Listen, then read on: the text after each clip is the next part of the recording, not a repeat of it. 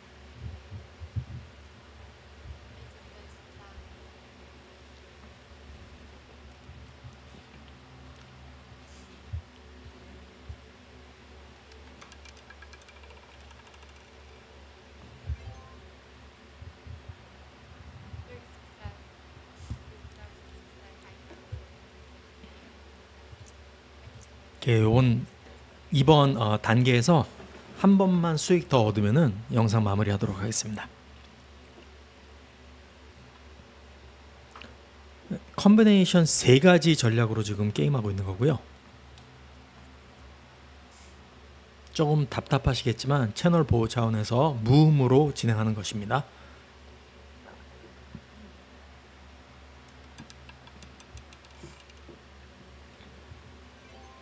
적중했죠. 이렇게 해서 오늘 세션도 여기서 마무리하도록 하겠습니다. 여러분 어, 이 업로드 해드리는 영상 밑에 설명란에 보시면요. 일타 강사 라이브 실시간 라이브 채널 링크가 있습니다. 이쪽 타고 넘어오시면요.